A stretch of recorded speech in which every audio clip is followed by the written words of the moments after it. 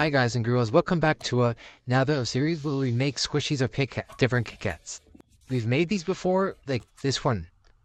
And so we're gonna make a different one, like the Machu one.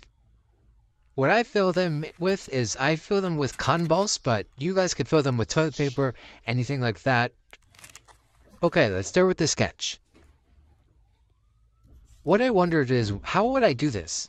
Because when I was thinking of this, I thought it would be much more easier. But now, I'm trying to think of something. This was my first attempt, and yeah.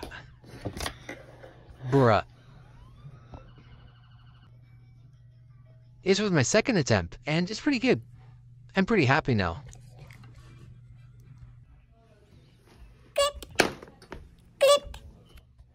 Either way, who cares? Coloring time! Yay! Brown, purple, red, even peach.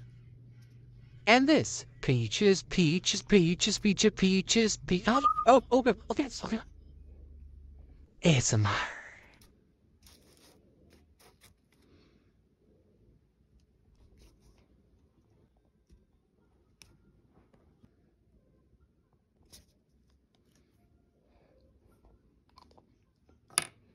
Yay, I'm done. Oh, wait, I'm not done. I have to do the back and I have to stuff it. And laminate it. Blah, I'm already done. Boom.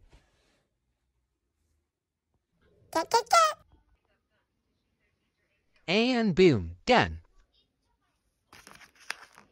So squishy and soft. I made some good squishies.